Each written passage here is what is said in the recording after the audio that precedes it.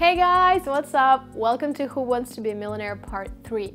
This video tests your knowledge of intermediate Lexis and without any further ado, let's get started. Everything's in English. All you need to know. Alright, how did you learn to speak English? The rules of the game are extremely simple. You're going to see sentences with the word highlighted and you need to guess the meaning of the word and choose one of the four options that is closest in meaning. If you got all the answers correct, write millionaire down below. If you made mistakes, let me know which words were the most challenging for you. Question 1. Earthquakes occur frequently in parts of California, which is why many people are already used to them. The word frequently in this sentence is closest in meaning to A. Rarely, B. Annually, C. Spontaneously, and D. Often. You will now have 10 seconds to think about the right answer. Then we will discuss it together.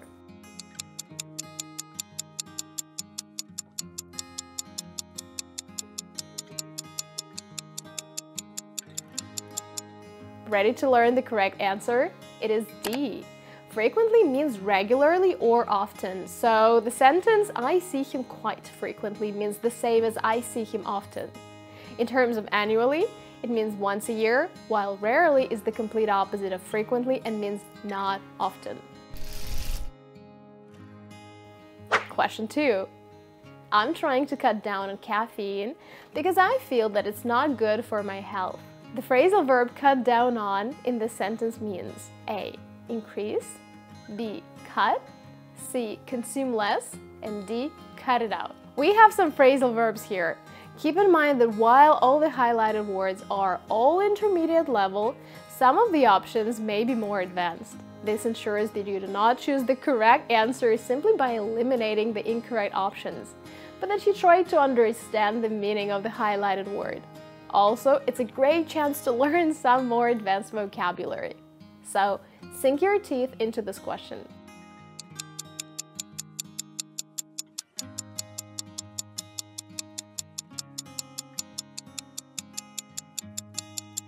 The right answer is C, consume less. I want to consume less caffeine, which means drink less coffee or soda, as they are the major sources of caffeine, because it's not good for my health. Let's discuss the phrasal verbs that we use here a bit. Cut down has several meanings. We can physically cut down things such as trees, for example. Cut down is also the synonym of another phrasal verb, cut back, when it means to reduce something in quantity. We can use both of them with a preposition on if they are followed by a noun. For instance, I ate too much sugar, really need to cut back. But you really need to cut back on sugar. By the way, while many Americans usually use these phrasal verbs interchangeably, there is a tiny difference between them. The difference is that cut down on is used for one's own usage of something, while cut back on is to reduce something external.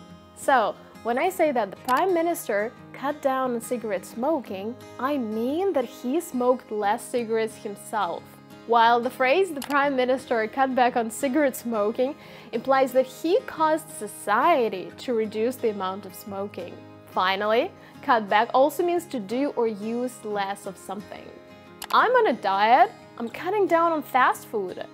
This, by the way, is the exact meaning that we had in the question. As for cut it out, say it when you want to tell another person to stop their bad behavior. For instance, if your kids are running around the house yelling and screaming, you can say, cut it out, I'm trying to take a nap. Question three. I ran out of ideas and honestly, I don't know what to do next. The phrasal verb ran out of in this sentence means A. Fail, B. Run away, C. Run into, and D. Have no more.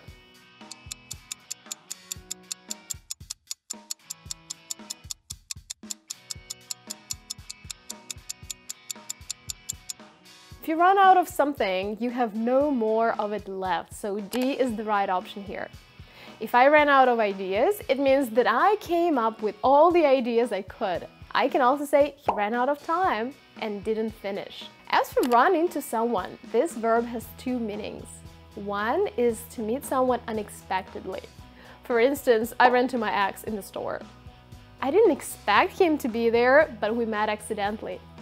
Another definition is to hit somebody or something with a car. I can say, I ran into my ex the other day, I backed up and hit the bastard again. That's a joke, of course.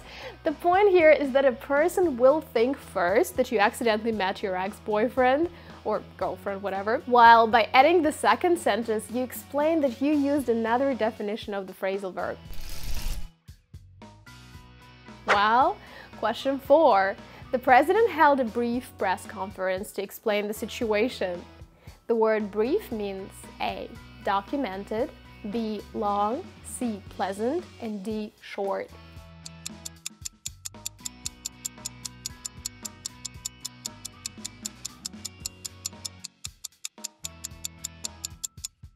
Brief is short, which makes D the right answer again. Since brief is something that lasts only for a short time, B, long, will be its exact opposite. The press conference might be pleasant, but I don't think it's the case here. Question 5. I like to hang out with my friends in the evening. The verb hang out means A. Look for B. Spend time C. Get along and D. Hang around.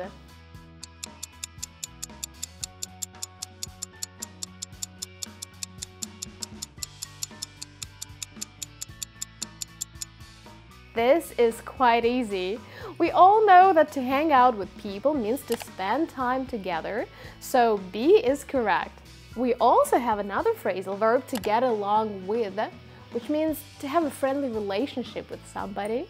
For instance, I don't really get along with my sister's husband. We don't really have a friendly relationship. Maybe we even hate each other. Now, if you hang around, you usually spend time quite aimlessly. Probably heard your parents say, stop hanging around, do something useful when you were a kid. Moving on, question six. Oil is one of the principal sources of energy. The word principal in this sentence is closest in meaning with A. Most expensive, B. Most important, C. Most difficult, and D. Most popular.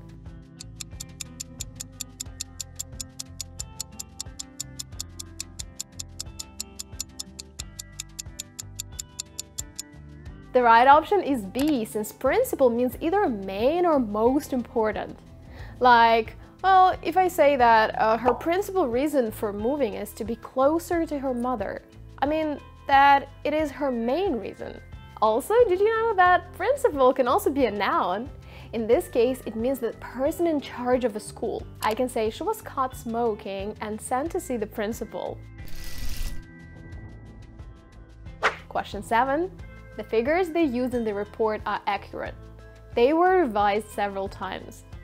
The word accurate in this sentence is closest in meaning with A. Correct, B. With mistakes, C. Imprecise, and D. Nice.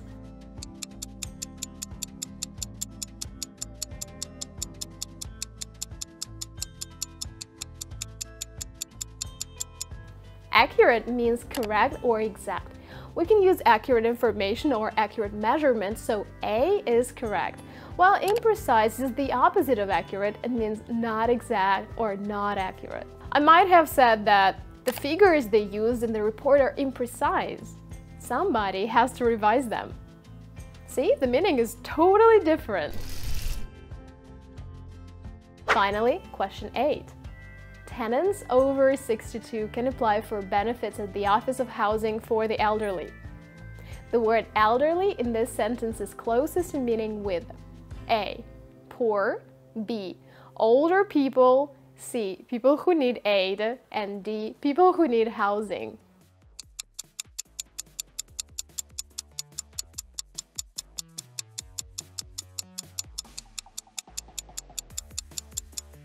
Tenants are people who pay rent to live in a room or an apartment. So, since those over 62 can apply for the benefits, it's right to assume that these people are not very young. This means that B is the right answer. In fact, elderly is a more polite word for old and is used to describe people. By the way, You probably know that by adding the definite article to the adjective elderly, we might turn it into a noun. For instance, elderly people can be changed to the elderly, or poor people can be changed or substituted by the poor. You will probably agree that the poor and the rich should have equal rights when it comes to voting. I mean, poor people and rich people. But since I used the article, I no longer need to say the word people. If you answered most of the questions without problems, you have quite a good level of English, maybe even better than you expected. If that wasn't the case and you've struggled a lot during the test, don't worry, since you can go from beginner to strong intermediate in just a month with the help of our course from elementary to intermediate. It will provide you with a solid grammar foundation, help you work on your intonation and pronunciation, and will also remove the language barrier since you will learn the most relevant vocabulary. The course is about to start really soon, so make sure to sign up to reserve your spot. Click the link in the description and get a promo code created specifically for our YouTube subscribers.